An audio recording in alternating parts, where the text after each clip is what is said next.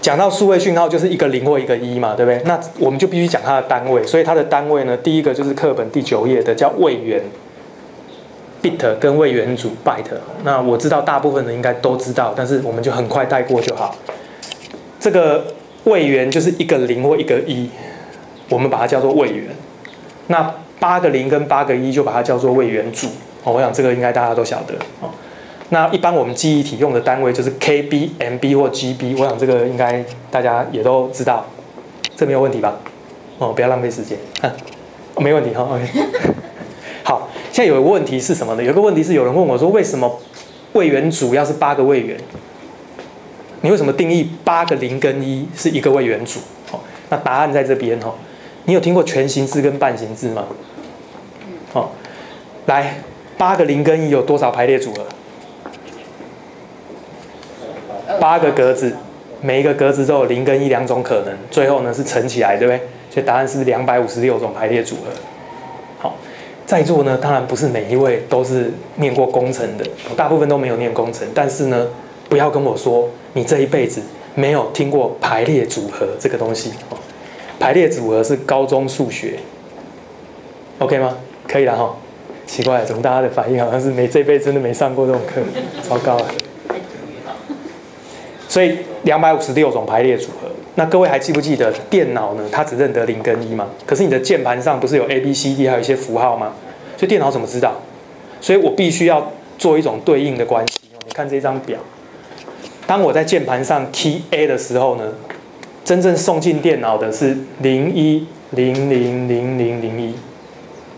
所以对电脑来说，它就是用这一个零跟一的排列组合来代表 A，这个来代表 B，以此类推。这样可以吗？这个在课本的第十一页，这一种编码叫做 ASCII 码。我想在座大部分的，因为 ASCII 码这个东西在我们电脑刚发明的那个时候还蛮热门的。那个时候，诶，写程式或是什么都会去都要去查这个表嘛。但我我这个表只取了一小部分了哦，但我的重点不是，重点是我给你一个观念，就是你在键盘上 key 的任何一个符号、英文、数字，它对应到。电脑里面就是一个零跟一的排列组合，所以我刚刚不是说吗？零跟一本身没有意义，但是零跟一的排列组合代表一个文字，代表一个照片，代表一个声音，就这个意思，可以吗？好，两百五十六个够不够？你去看看你的键盘，你的英文键盘上有英文字大写、小写、数字，还有标点符号，对不对？所以呢，你把这些加一加，一定不会超过两百五十六。所以科学家当初就定义一个位元组就是八个位元，因为呢刚好可以储存一个半形字，这是他的理由，可以吗？好，那是英文，那中文怎么办？中文就不够了，对不对？所以科学家后来又定义了全形字。全形字有多少个位元呢？全形字有十六个位元，就是零十六个零跟一。所以有多少排列组合呢？二的十六次方是多少？六五五三六，六万五千五百三十六。来，中文字有多少个？无数个。不多啦，无数个没有啦，没有啦。你去把康熙字典拿来，也没那么多啦。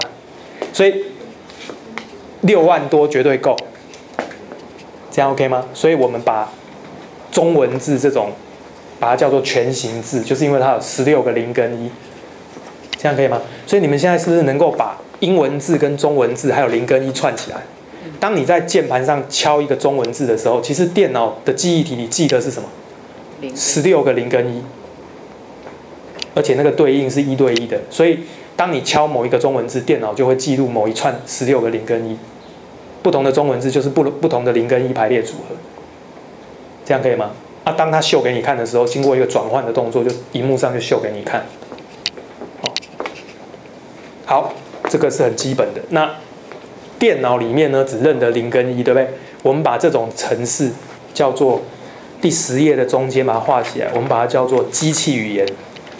第十页的中间，呃，我们有人把它叫 machine code，有人把它叫 machine language。反正呢，就是机器看得懂的语言，就叫机器语言。基本上就是只有零跟一。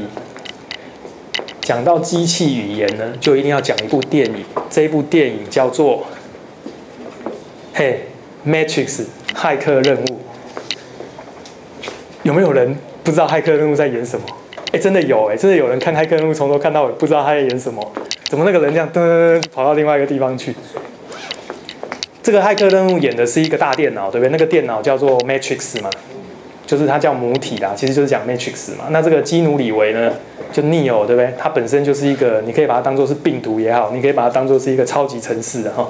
他进到那个 Matrix 之后呢，他看到的一切，正常应该看到的是一面墙壁，但他看到的就是一堆零跟一。还记不记得他的电影里面有那个画面？哦，为什么他看到零跟一？因为他就是一个超级城市。他可以看到人家看不到的东西，所以子弹打过来的时候，他手一伸，那个子弹会停下来。这样听懂吗？所以，呃，你如果要了解城市，我这样讲了，《Matrix》这部电影哦，只要是写城市出身的人都觉得那个老导演真的是创意太有创意，那个编剧跟导演太有创意。但是你不是写城市出身的人，就比较没有那么深刻的感受。所以我的同学只要是念自工系的，都觉得那部电影非常棒。但是不学自工的，可能有的觉得普通，有人是根本看不懂。好，这个我们讲机器语言。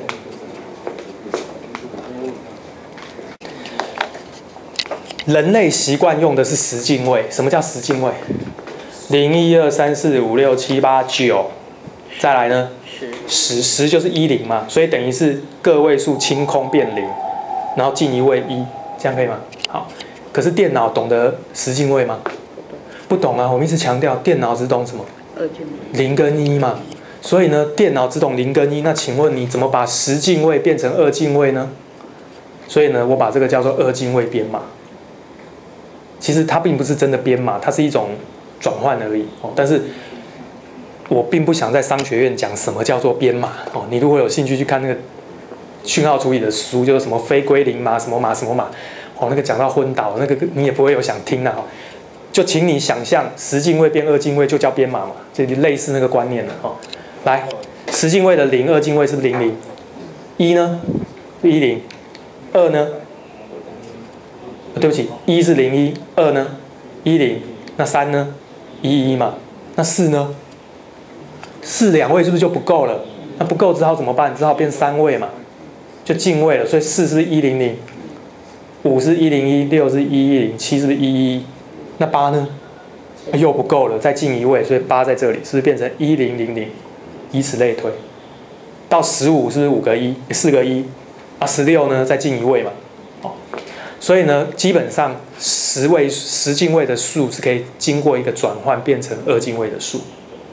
好，那叫你背这个表当然是不可能嘛，你也不需要那么辛苦，在电脑里面呢，基本上呢有一个软体，来，哦，这个应该各位不陌生吧？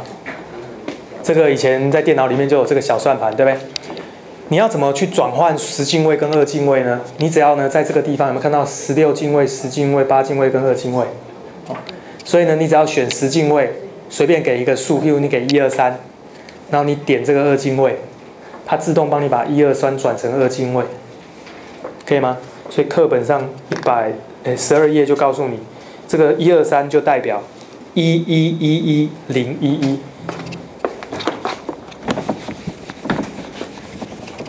所以简单的说，就是当你在电脑上面呢 key 一二三的时候，你的键盘不是可以 key 一二三吗？你的电脑认定你 key 进去的不是一二三，是多少？一一一一零一一。好，各位，假设你今天要用电脑计算嘛，加一，好不好？各位告诉我，一一百二十三加一是多少？一百二十四，对不对？那电脑不懂哦，电脑只懂一一一一零一一加一，答案是多少？一加一是不是进位变二嘛？啊，因为只有零跟一嘛，那二只好进位啊，所以是不是进一位？进一位之后，糟糕，又是一，一加一又变二，是不是再进一位？所以最后答案是多少？一一一一一零零，有跟上吗？这个行为跟十进位是完全一样，只不过差别是十进位是到九才进位。对吧？到九十才进位，但是二进位是到了一就要进位了。那最后呢？你如果用这个小算盘去 check 一下，你就会发现这一个就相当于是一百二十四。可以吗？因为我现在弄不出小算盘了，就不用真的算给你看，你回去自己试试看，一百二十四是不是一一一一零零？一定是。所以这个概念在告诉你什么？是告诉你，当你在键盘上用十进位在运算的时候，电脑实际上是做什么事？它在用二进位帮你算，但是算完之后，它会把结果换成十进位，所以你你没有发现。